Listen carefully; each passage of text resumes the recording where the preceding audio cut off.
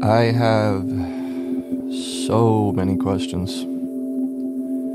But the more time away we have, the less I seem to care about even thinking about them. It's exhausting trying to figure it all out. If you're wondering, I haven't met anyone yet.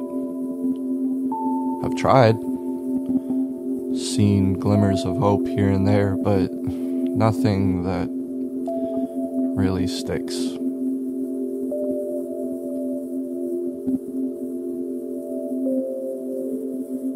I don't really know what's gonna happen, but I'm not too worried about it anymore.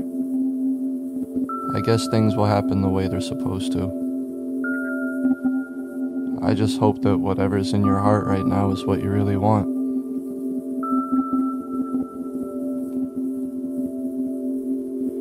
And for the record, I didn't make this album to exploit you or make you feel any worse in any way for how it happened.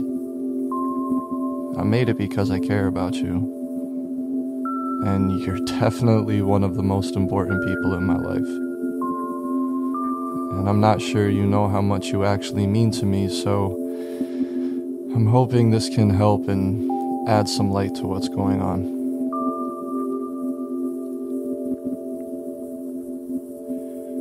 Whether or not it happens the way I want it to, I want you to know I'm proud of you. And I love you. And that'll never change. As hard as it might be, I'm thankful for the wisdom. And I wouldn't have wanted it any other way.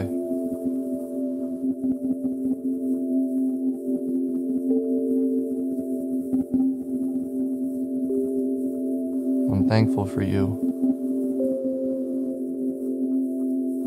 And I'm thankful for University Park.